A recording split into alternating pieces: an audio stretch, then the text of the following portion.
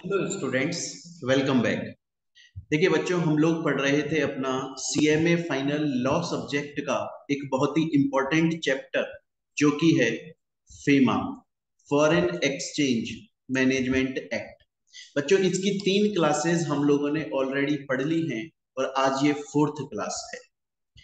देखिए last class जो हमने पढ़ी थी थर्ड क्लास अपनी उसके अंदर हम लोगों ने डेफिनेशंस देख ली थी। उसके अलावा section three and section four complete कर लिया था। प्रीवियस ईयर के क्वेश्चन भी ये हमने साथ में पढ़ लिए थे। हालाँकि मैंने लास्ट क्लास में सेक्शन फाइव थोड़ा सा स्टार्ट करा था, पर मैं आज रिवाइज कर देता हूँ और फिर हम इसे कंप्लीट कर लेंगे। देखिए, बच्चों, बात आ जाती है सेक्शन फाइव आखिर किस बारे में बात करता है। Section five current account transaction के प्रोविजंस रूल्स रेगुलेशंस के बारे में बात हम लोग ऑलरेडी ये पढ़ चुके हैं कि करंट अकाउंट ट्रांजैक्शन क्या होता है कैपिटल अकाउंट ट्रांजैक्शन क्या होता है, हम ये पढ़ चुके हैं। आज हमें सेक्शन फाइव के अंदर पढ़ना है कि आखिर जो करंट अकाउंट ट्रांजैक्शन है, उसकी क्या कंडीशंस होती है।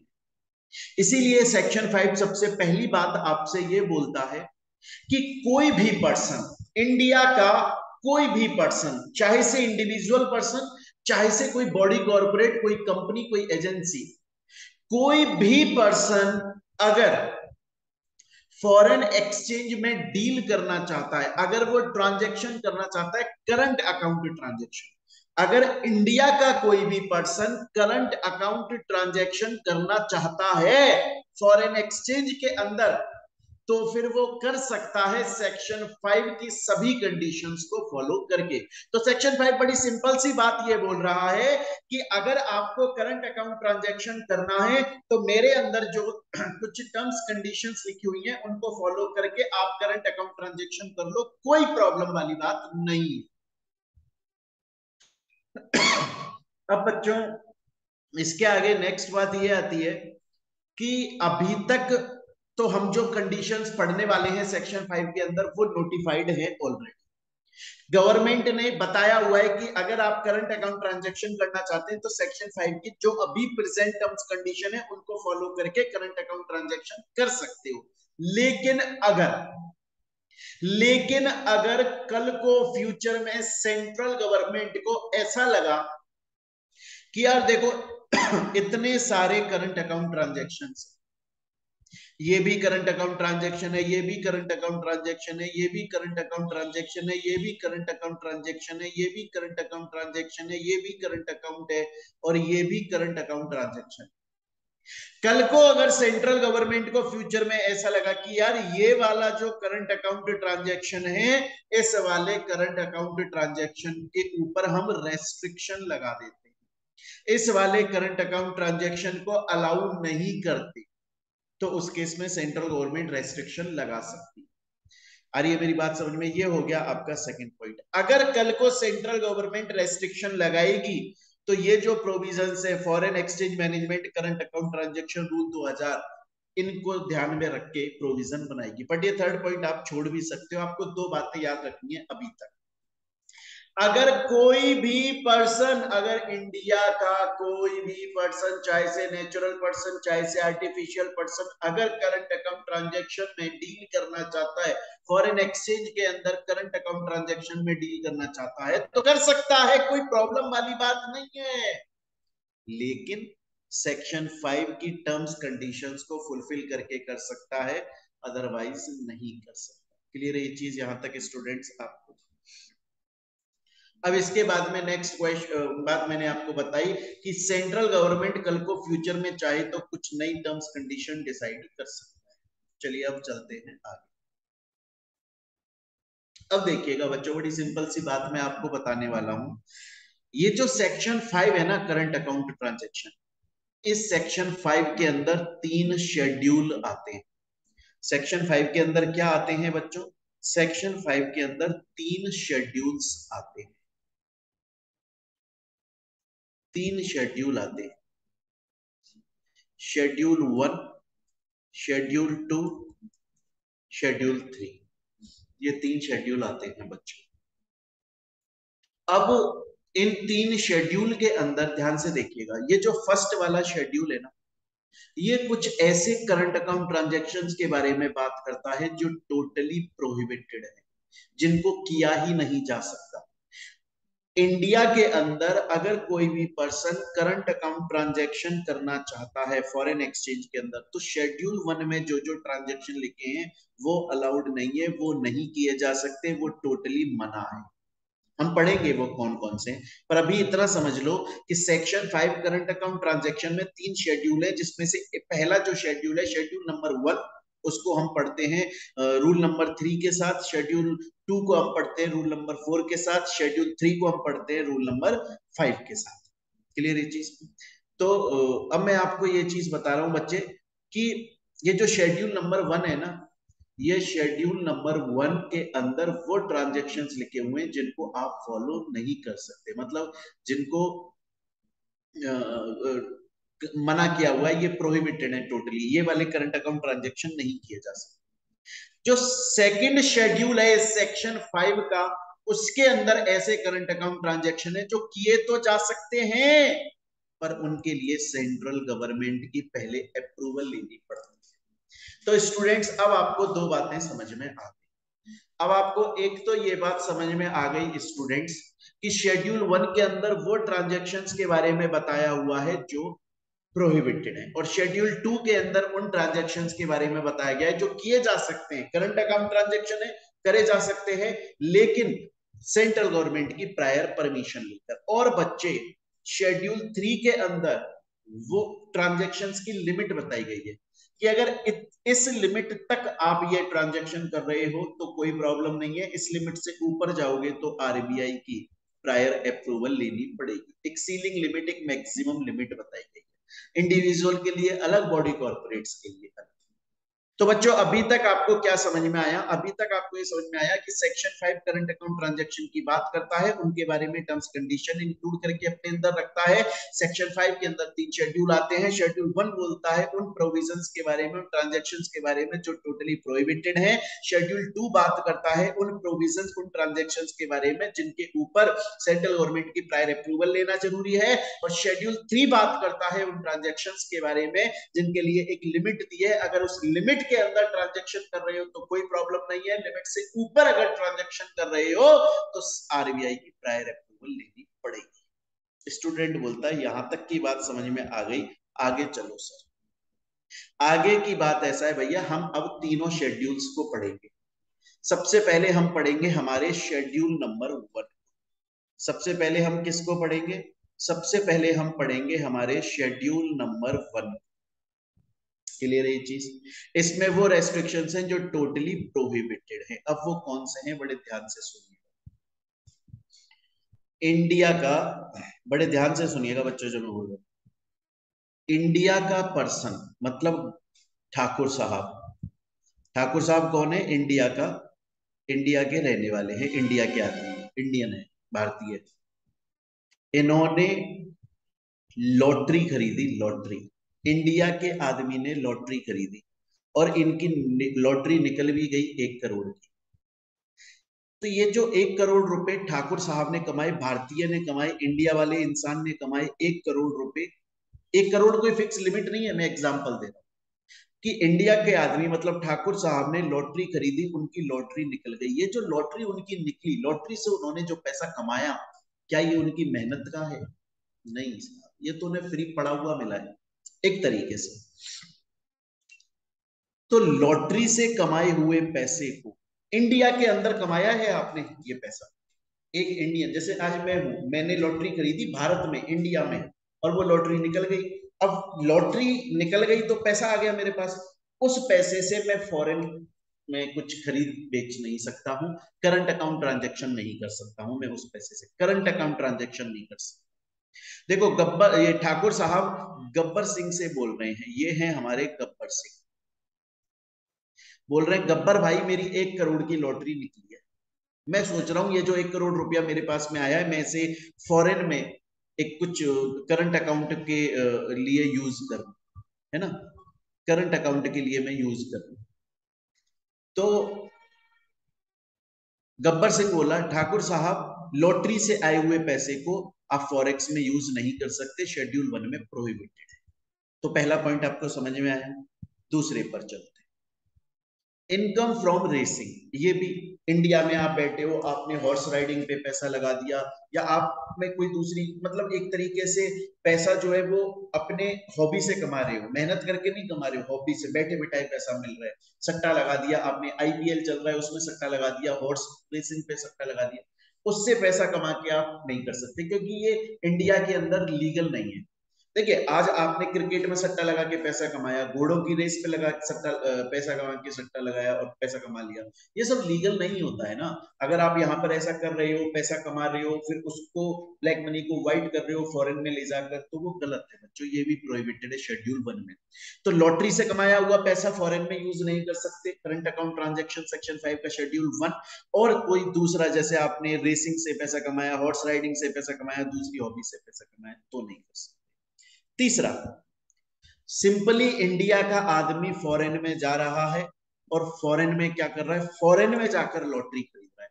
अभी तक तो फ़र्स्ट पॉइंट में मैंने बोला, आपने इंडिया में लॉटरी खरीदी, वो निकल गई, वो पैसा भारत बाहर नहीं ले जा सकते। अब मैं बोल रहा हूँ, आप अपना कमाया हुआ पैसा फॉरेन में जा रहे हो और फॉरेन में जाकर लॉटरी परचेज कर रहे हो, वो नहीं कर सकते। या फॉरेन में जाकर आप टिकट्स परचेज कर रहे हो, वो नहीं कर सकते। फॉरेन में जाकर आप बैंड मैगजीन्स परचेज कर रहे हो अडल्ट मैगजीन सेक्सुअल मैगजीन्स जो अलाउड नहीं है।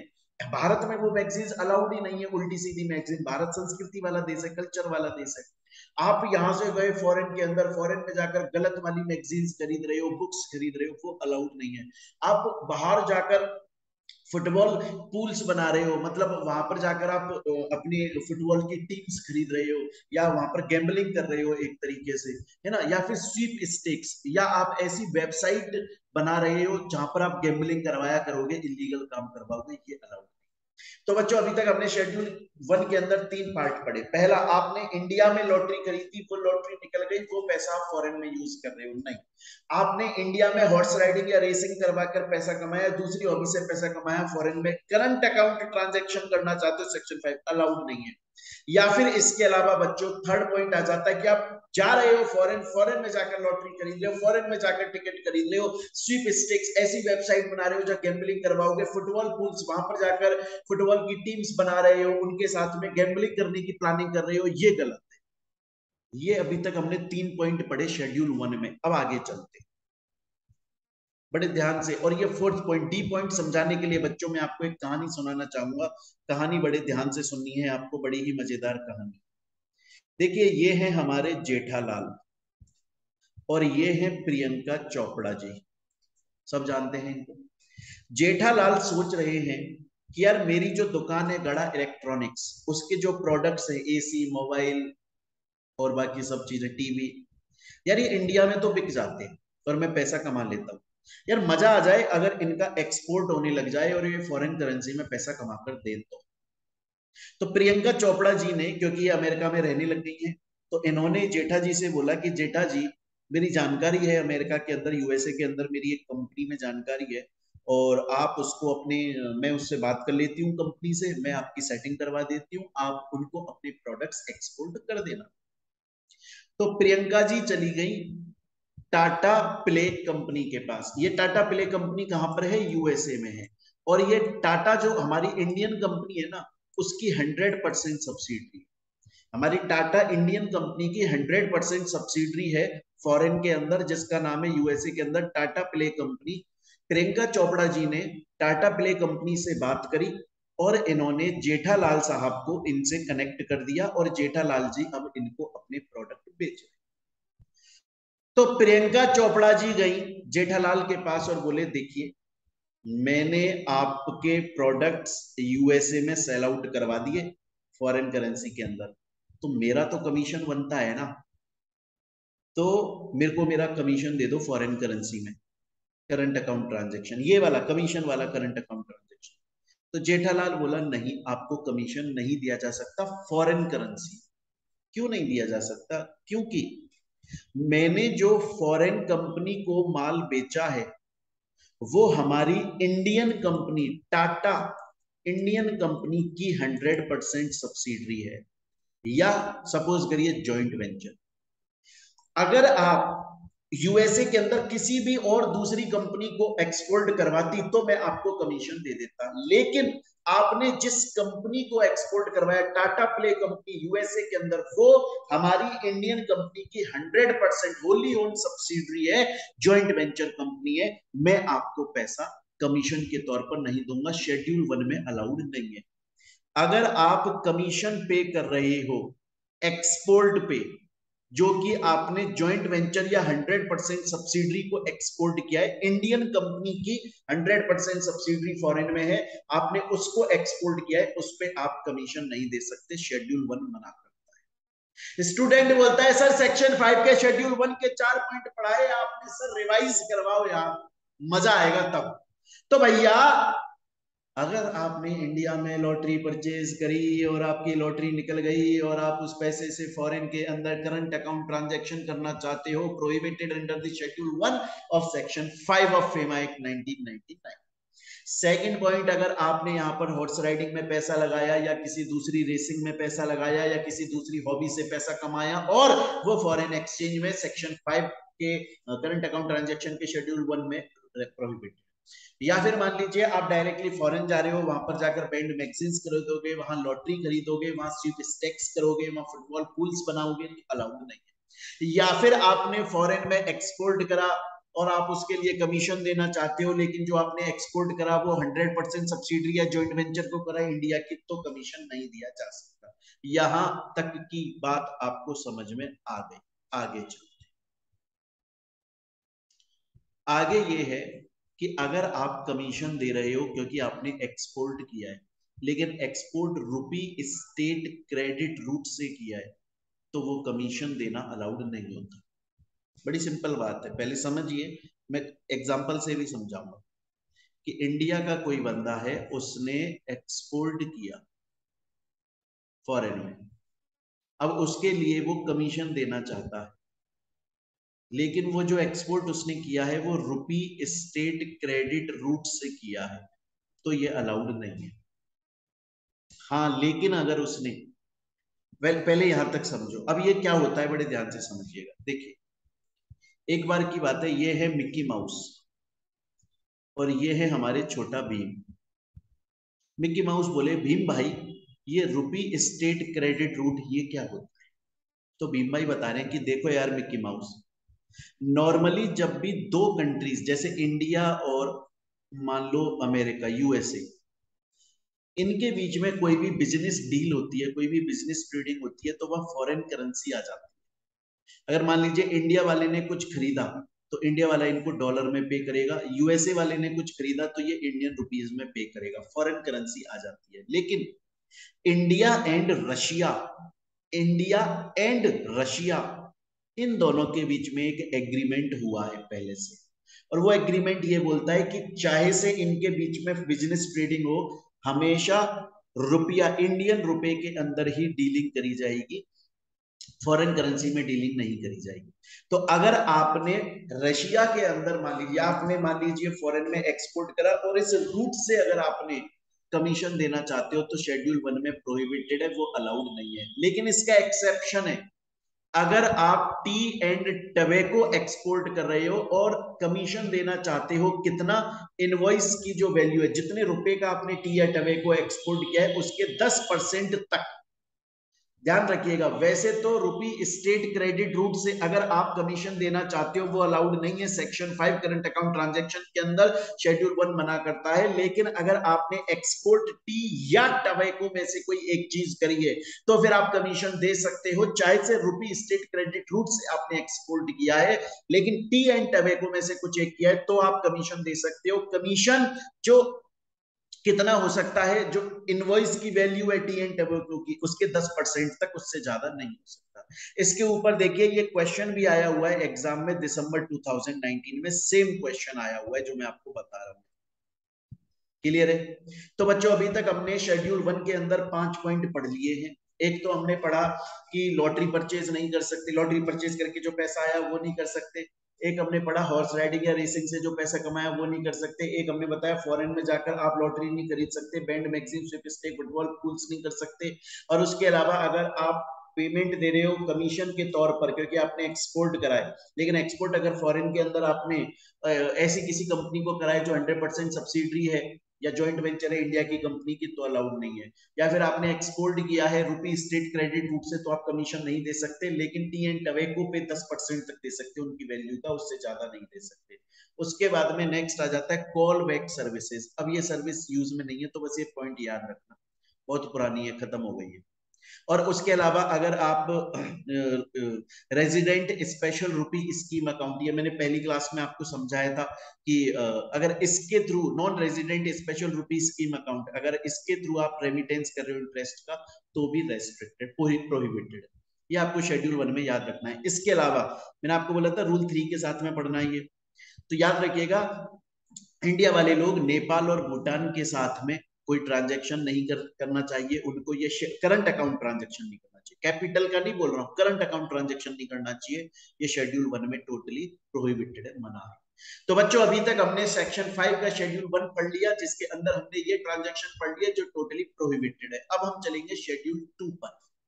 शेड्यूल टू उन ट्रांजेक्शन के बारे में, उन करंट अकाउंट ट्रांजेक्शन के बारे में बताता है जिनको किया जा सकता है सेंट्रल गवर्नमेंट की गवर्नमेंट ऑफ़ इंडिया की प्रायर परमिशन लेकर। और एक चीज़ बता दू बच्चों, इन शेड्यूल टू के अंदर हम जितने भी ट्रांजेक्शन पढ़ने वाले हैं, वो सभी गवर्नमेंट खुद पब्लिक सेक्टर अंडरटेकिंग के ब्याह पर बात करेंगे, खुद स्टेट गवर्नमेंट के ब्याह पर बात करेंगे। जैसे अगर आप फॉरेन के अंदर कल्चरल टूर टूर करना चाहते हो तो सेंट्रल गवर्नमेंट की परमिशन लेनी पड़ेगी।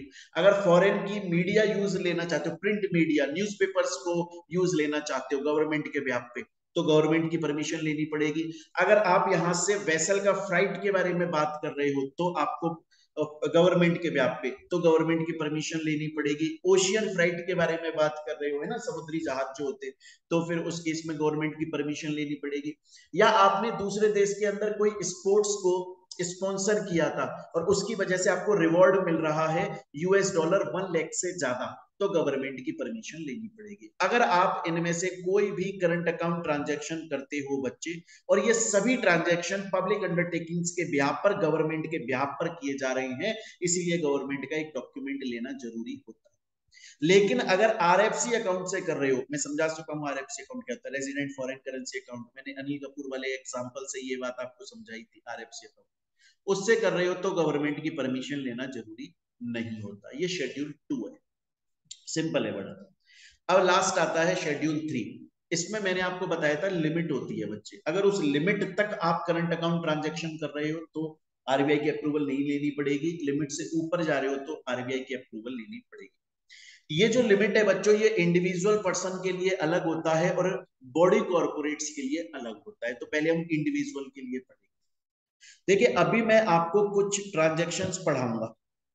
अगर वो ट्रांजेक्शन इंडिया का कोई भी बंदा फॉरेन में कर रहा है तो करंट अकाउंट ट्रांजेक्शन में काउंट होगा पहली बात तो। दूसरी बात, अगर वो US dollar two lakh fifty thousand तक कर रहा है तो आरबीआई की अप्रूवल नहीं लेनी पड़ेगी। उससे ऊपर कर रहा है तो आरबीआई की अप्रूवल लेनी पड़ेगी। दोबारा सुन लो जो मैं बोल रहा हूँ। मैं आपको अभी कुछ ट्रांजेक्शन बताने वाला हूँ। अगर इंडिया का कोई भी बंदा, इनमें से कोई भी ट्रांजैक्शन मतलब करंट अकाउंट ट्रांजैक्शन फॉरेन में कर रहा है, लेकिन US dollar two lakh fifty thousand तक कर रहा है तो कोई प्रॉब्लम नहीं है, कर सकता है आरबीआई की अप्रूवल नहीं चाहिए। टू लैख फिफ्टी थाउज़ेंड से ऊपर कर रहा है तो आरबीआई की अप्रूवल चाहिए होगी। अब वो ट्रांजेक्शन कौन से हैं? आप किसी कंट्री के अंदर विज़िट करना चाहते हो, नेपाल, भूटान नहीं अलाउड नहीं है। या गिफ्ट विफ्ट डोनेशन देना चाहते हो एम्प्लॉयमेंट के लिए जाना चाहते हो एमिग्रेशन वहाँ पर जाके सेटल ही हो रहे हो, है ना? अपने क्लोज रिलेटिव से आपके जो अब्रॉड में रहते हैं, उनके मेंटेनेंस उनका खर्चा पानी आप देखते हो। तो इनमें से अगर कोई मेडिकल ट्रीटमेंट के लिए जा रहे हो, पढ़ाई करने के लिए जा रहे हो, कोई भी ऐसा करंट अकाउंट ट्रांजेक्शन आप कर रहे हो इंडिविजुअल बंदा नेचुरल पर्सन आप या मैं तो टू ले फिफ्टी थाउज़ेंड रुपए तक का अगर खर्चा कर रहे हो तो कोई प्रॉब्लम नहीं है। उससे ऊपर अगर कर रहे हो तो आपको आरबीआई की स्पेशल अप्रूवल लेनी पड़ेगी। ये तो हो गया इंडिविजुअल लोगों के लिए। अब आ जाते हैं बच्चे इंडिविजुअल के अलावा बॉडी कॉर्पोरेट्स के लिए। अब बड़े ध्यान से, आराम से पड़ेगा अभी तक तो इजी इजी पार्ट चल रहा था बच्चों। अब थोड़ा सा टेक्निकल पार्ट आएगा।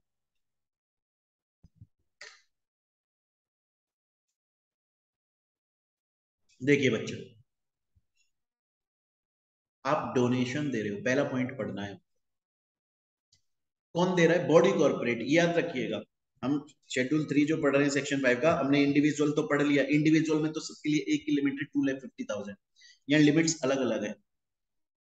डोनेशन दे रहे हो आप। क्यों दे रहे हो? सबसे पहले तो ये समझो, क्यों दे रहे हो? या तो आप इसलिए दे रहे हो क्योंकि फॉरेन के अंदर कोई एजुकेशनल इंस्टीट्यूट है। और वहाँ पर आप एक पोस्ट क्रिएट करना चाहते हो। सपोज़ करिए कि आज रिलायंस कंपनी को ऐसा लगता है कि यार, अमेरिका के अंदर एक एजुकेशनल इंस्टीट्यूट है, उसमें बहुत सारी पोजीशंस हैं, उन पर लोग बैठे हैं जो उस कॉलेज को चला रहे हैं इंस्टीट्यूट को चला रहे हैं और लोगों को अच्छी एजुकेशन दे रहे हैं। पर वहाँ पर एक और पोस्ट होनी चाहिए, एक बंदा और होना चाहिए पर्टिकुलर पर्पज के लिए उससे लोगों को फ़ायदा हो जाएगा। ऐसा रिलायंस सोचती है और रिलायंस इस पोस्ट को क्रिएट कर रही है। उसके लिए वो डोनेशन दे रही है। रिलायंस बोल रहा है कि ये जो हमने फॉरेन वाले इंस्टीट्यूट में ये पोस्ट बनाई है नहीं, इस पर जो आदमी आकर बैठेगा और सर्विस प्रोवाइड करेगा, जिससे स्टूडेंट्स का कॉलेज में फ़ायदा होगा तो उस बंदे की जो सैलरी वैलरी होगी, जो पैसा वैसा होगा, उसका जो खर्चा पानी होगा, वो हम डोनेट या तो इस पर्पज के लिए या फिर एजुकेशनल इंस्टीट्यूट्स को प्रमोट करने के लिए आप फंड्स कंट्रीब्यूट कर रहे हो, या फिर कोई डोनर कंपनी है, उसकी जो पर्टिकुलर फ़ील्ड है, उसकी टेक्निकल ग्राउंड के लिए आप दे रहे हो। अरे टेक्निकल इंस्टीट्यूशन के लिए सॉफ्टवेयर के लिए दे रहे हो। तो दोबारा से बोलो डोनेशन प्रोवाइड कर रही है इंडिया की कंपनी प्रोवाइड कर रही है फॉरेन के अंदर प्रोवाइड कर रही है, या तो आपने कोई पोस्ट क्रिएट करी है, या फंड कंट्रीब्यूट कर रहे हो, या टेक्निकल बैकग्राउंड पे कुछ प्रमोट कर रहे हो। तो बच्चे उस केस में आप डोनेशन दे सकते हो। कंपनी की पिछले तीन साल की जो फॉरेन एक्सचेंज से अर्निंग है, उसने फॉरेन से जो पैसा कमाया, उसके वन परसेंट तक या फिर यूएस डॉलर पचास लाख। तो जैसे टाटा कंपनी कर रही है तो टाटा कंपनी ने पिछले तीन साल में फॉरेन एक्सचेंज में जितना पैसा कमाया, उसके वन परसेंट या फिर यूएस डॉलर पचास lakh whichever is less इनमें से जो भी कम आता है अगर उतने रुपए तक या उससे कम का डोनेशन किया जा रहा है, इनमें से किसी भी पर्पज के लिए तो आरबीआई की अप्रूवल नहीं लेनी। लेकिन अगर विच एवर इज़ लेस जो आया, उससे ज़्यादा दिया जा रहा है डोनेशन तो आरबीआई की अप्रूवल लेनी पड़ेगी। ये हो गया बच्चे आपका फ़र्स्ट पॉइंट मेरे ख्याल से समझ में आया। अब हम आ जाते हैं अपने सेकंड पॉइंट देखिए, जैसे सपोज़ कीजिए एक एजेंसी एक कंपनी है, इंपीरियल करके कंपनी है और ये बाहर की कंपनी है फॉरेन की। और ये रिलायंस को कमर्शियल ऑफ़िस बेच रही है। हो सकता है रेजिडेंशियल भी बेचती रहने वाला बट कमर्शियल बेच रही है। कितने रुपए का यूएस डॉलर सेवन लैख का? तो रिलायंस उसके बदले में कमीशन भी पे कर रहा है। कितना कमीशन दे रहा है? सत्ताईस हज़ार यूएस डॉलर तो ये जो इसने कमीशन दिया है क्या ये कमीशन बिना आरबीआई के अप्रूवल के दिया जा सकता है? बड़ी सिंपल सी बात देखिएगा। अगर इंडिया की कंपनी फॉरेन से फॉरेन के पर्सन से कोई रेजिडेंशियल फ्लैट या कमर्शियल प्लॉट खरीद रही है इंडिया में इंडिया में खरीद रही है, और उसके लिए वो कमीशन पे कर रही है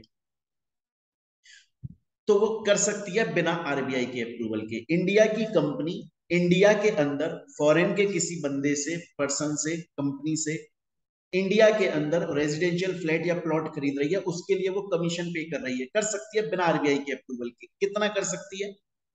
यूएस डॉलर पच्चीस हज़ार या फिर जितने का उसकी वैल्यू है फ्लैट की, उसका पाँच percent whichever is more जो भी ज़्यादा आता है, उतने तक कमीशन वो आरबीआई के अप्रूवल के बिना दे सकती है। उससे ऊपर अगर उसे देना है तो आरबीआई की अप्रूवल लेनी पड़ेगी। यहाँ पर रिलायंस कंपनी सात लाख रुपये में खरीद रही है। सात लाख यूएस डॉलर में खरीद रही है। तो सात लाख का पाँच परसेंट निकाल। पैंतीस हज़ार। या फिर US dollar twenty five thousand whichever is more thirty five thousand US dollar मतलब पैंतीस हज़ार यूएस डॉलर का कमीशन दे सकती है। यहाँ पर दिया कितने का है? रिलायंस ने सत्ताईस हज़ार का। तो वैलिड है, कोई दिक्कत नहीं बिना आरबीआई के अप्रूवल के हो सकता है। तो सेकंड पॉइंट भी आपको समझ में आ गया। दो पॉइंट हमने पढ़ लिए थर्ड पॉइंट अगर इंडिया की कंपनी फॉरेन की किसी कंसल्टेंसी से इंफ्रास्ट्रक्चर प्रोजेक्ट के लिए कंसल्टेंसी ले रही है तो वो US dollar one thousand one crore तक पे कर सकती है। उससे ऊपर पे करेगी तो उसके लिए आरबीआई की अप्रूवल लेनी है।